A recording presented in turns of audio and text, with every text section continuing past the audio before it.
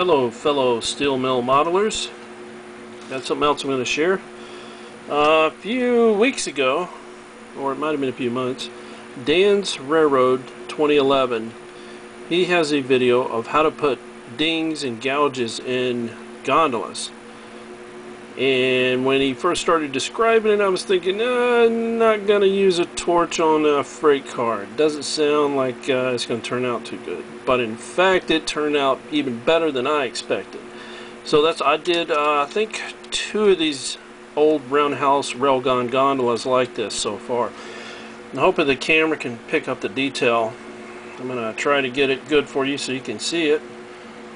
This was done with a propane torch at a very very low temperature barely on.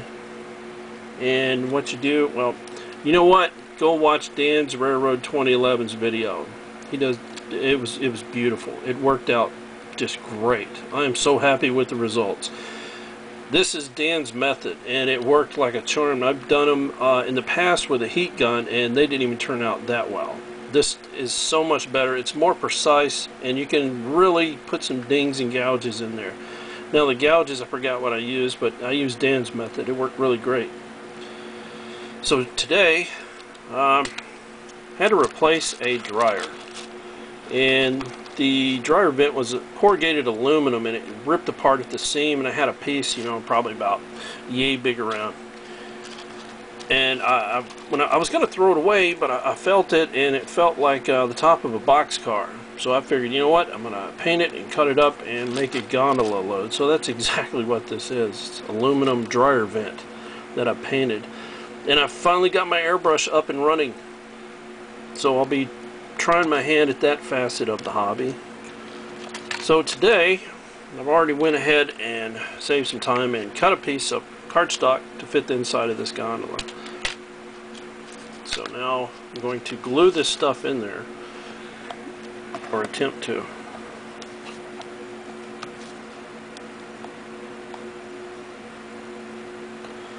First I like to get it nice and a lot of glue on there just to make it tacky so I can take the first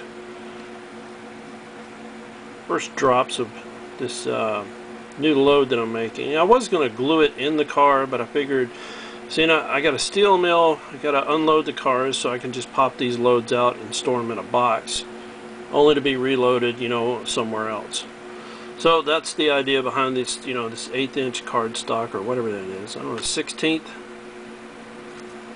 thick. I don't know how many mils. It's probably yeah, two, three mils thick. So let's try that.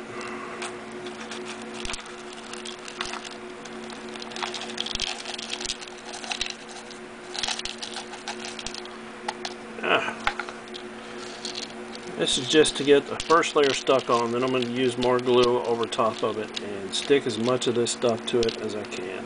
That's the plan at least. We'll see how it goes. And you got to kind of push it inward so it doesn't get stuck on the sides of your brake car.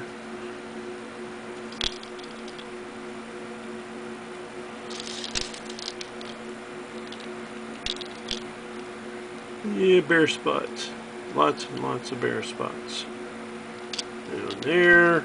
Okay. Well, that method didn't work too well.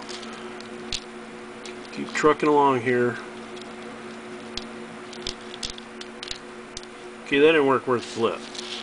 So you may have to place them one at a time. And you're going to be there a while. But you can, you man, you can use anything to make an HO load. As long as you cut it down small enough. This is supposed to represent, you know, three foot chunks of uh, freight car.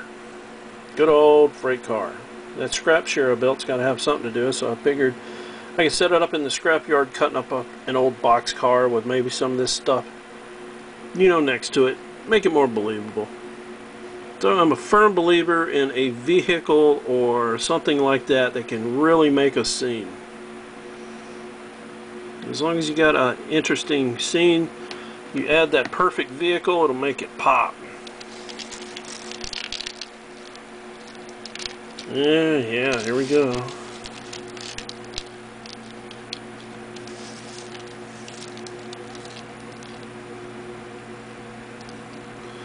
I don't like to glue this load into the car until I'm all the way done with it. So this is probably going to be an all-day process. It's very humid where I am. It was 116 with the heat index, very miserable. And it is hot out here in my hobby room.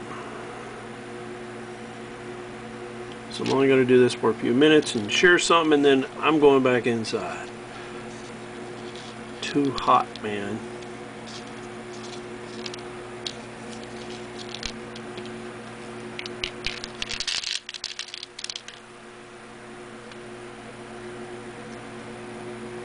Well, that didn't work. Yep, gotta do it the hard way. So apparently, man, urgh. glue and stick method then.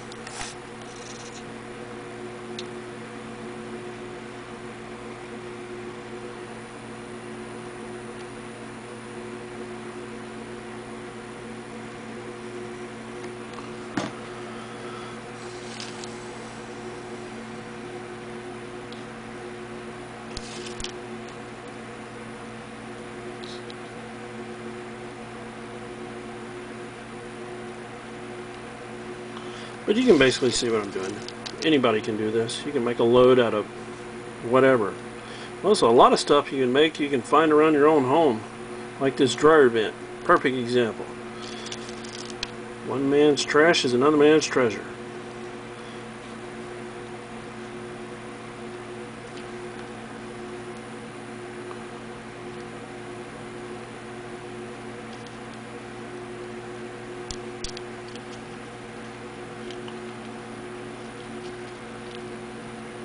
And that is going to be probably it for now. But to get the general idea you can do this all day. You can make as many loads as you want exactly like this.